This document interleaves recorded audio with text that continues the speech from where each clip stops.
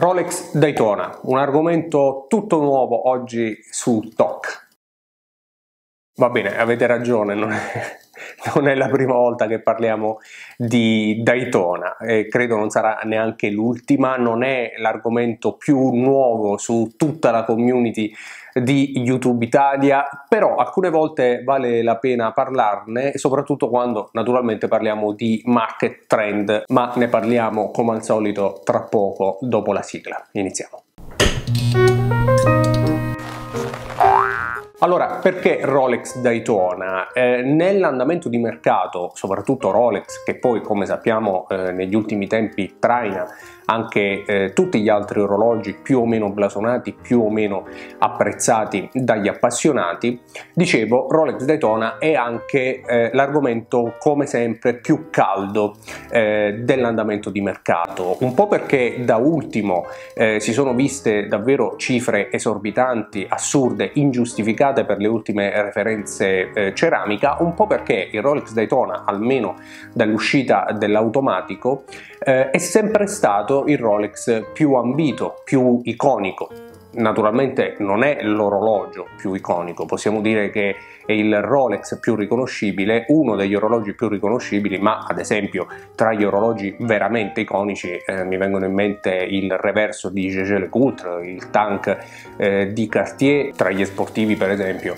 eh, il Navitimer di Breitling sicuramente. Comunque in questa puntata parliamo di Rolex Daytona, dicevo eh, uno degli orologi più ambiti da quando è uscita la versione automatica, perché prima quando c'erano i manuali, sebbene oggi apprezzatissimi, amatissimi, non era certamente l'orologio più venduto, anzi si comprava con forti sconti. Uscì poi il Daytona cosiddetto Zenith eh, referenza 16520 con calibro 4030, ovvero lo Zenith il primo pesantemente modificato in più di 200 componenti eh, da parte di Rolex e poi nel 2000 arriva la referenza 116-520, ovvero il primo Rolex Daytona 6 cifre e anche l'ultimo con la bellissima e romantica lunetta in acciaio incisa e che porta con sé il primo e unico al momento movimento cronografico in house di Rolex, ovvero il 4130 con innesto verticale e ruota a colonne.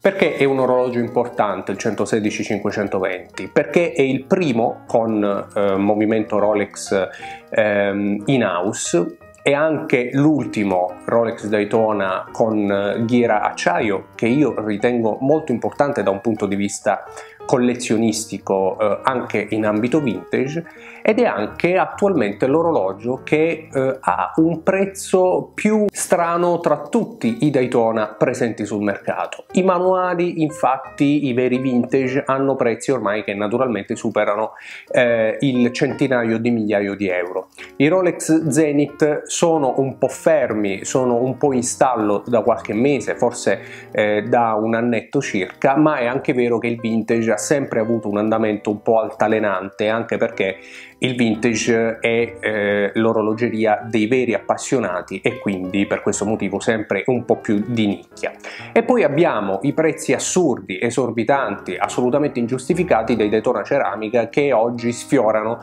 i 50.000 euro almeno per i modelli con quadrante bianco e comunque i 40-45.000 euro per i modelli con quadrante nero che io peraltro preferisco rispetto al bianco ma questi sono gusti personali. Ecco il primo Rolex Daytona con con movimento in house di questa recensione è anche il Rolex Daytona che attualmente, e credo che durerà poco, ha il prezzo più accessibile per così dire eh, non me ne vorrà nessuno per questo termine, ma in ogni caso eh, in proporzione agli altri Rolex Daytona è di sicuro il prezzo più basso. Si aggira attorno ai eh, 30.000 euro, 32-33.000 euro per le ultime versioni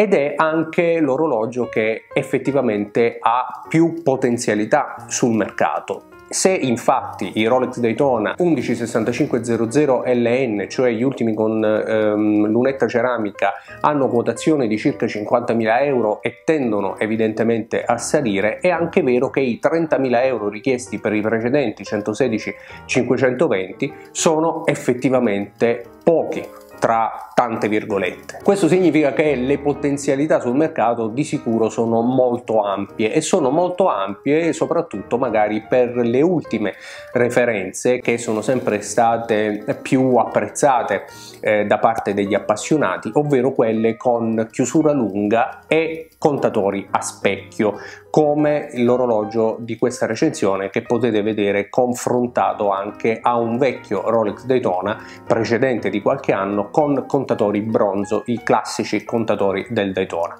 Dovete sapere infatti che le modifiche al Daytona 116-520 hanno iniziato a susseguirsi a partire dal 2010, anno in cui con il seriale V è stata introdotta la chiusura lunga a discapito della chiusura corta e poi nel 2013 circa eh, sono stati introdotti appunto i subcontatori cronografici a specchio che hanno sostituito i contatori bronzo, sebbene poi, soprattutto sulla versione bianca, le differenze ad occhio nudo siano effettivamente abbastanza marginali, forse un po' più marcate invece sui quadranti neri.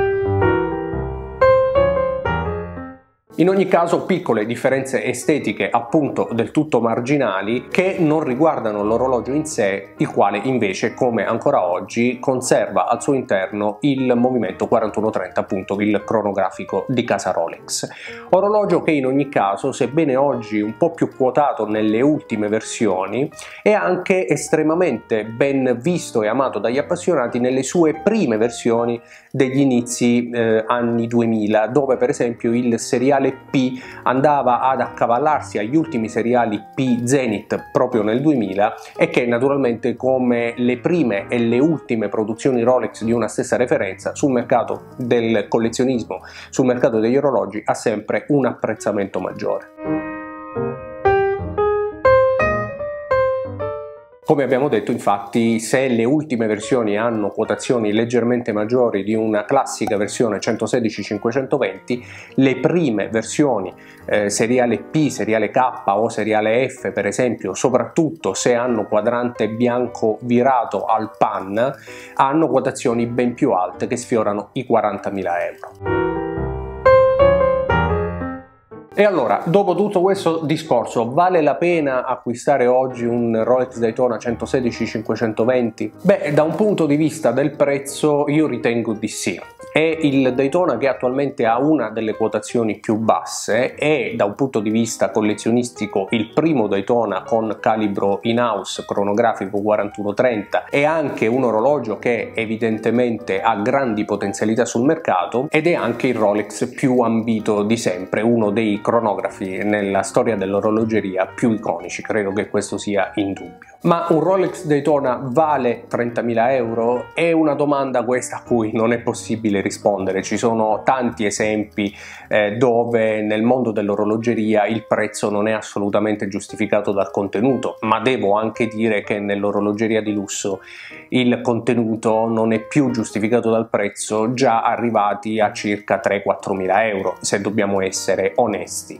È chiaro che ogni azienda, dal più piccolo micro brand al la più eh, rinomata azienda di alta orologeria fa ricarico sui propri orologi, nessuno fa beneficenza. Il mercato degli orologi poi, fatto dagli appassionati, naturalmente si basa su quella che è la classica domanda e offerta, quindi non è possibile rispondere a questa domanda, non posso dire che il Rolex Daytona valga 30.000 euro, di sicuro lo vale nel mercato degli orologi e questo significa che in ogni caso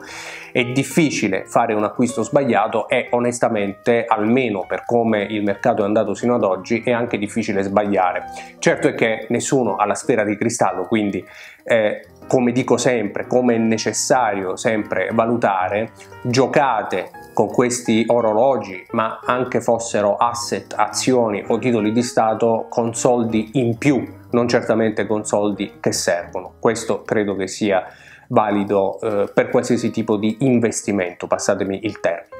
Vorrei sapere da voi che cosa ne pensate, cosa pensate di questo Rolex Daytona e di quello che sta succedendo sul mercato. Ne parliamo assieme come sempre nei commenti, non prima di avervi ringraziati per essere stati anche in questo video. Se volete potete iscrivervi, noi ci vediamo invece qui su Talk per una prossima puntata. Ciao!